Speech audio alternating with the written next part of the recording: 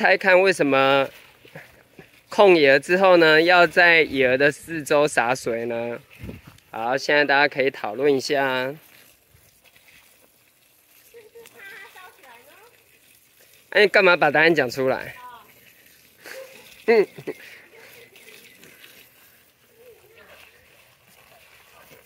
哦，但是记得上面不要喷，不要洒水，不然刚好不容易控野木炭，让这些土块的热气呀，要来焖熟我们的食物，就因为我们洒了洒了水在上面之后，就没有把整个热气瞬间都减少了。好，接下来我们就要时间快转两个小时，焖两个小时，来看看刚刚放下去的韩吉。哦啊，跟马铃薯最后有没有成功呢？Yeah.